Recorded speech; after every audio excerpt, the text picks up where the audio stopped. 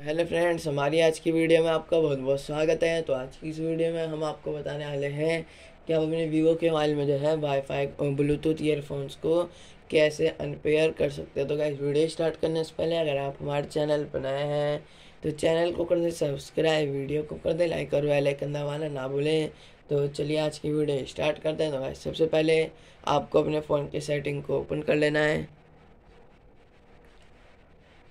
Gas setting open कर लेने के बाद आपको जो है यहाँ पर ब्लूटूथ एंड डिवाइस का ऑप्शन दिख जाता है। तो गैस आप इस पर सिंपली क्लिक कर देंगे। गैस इसके बाद आपको जो है यहाँ पर ब्लूटूथ का ऑप्शन दिख जाता है। तो गैस आप इस पर सिंपली क्लिक कर देंगे।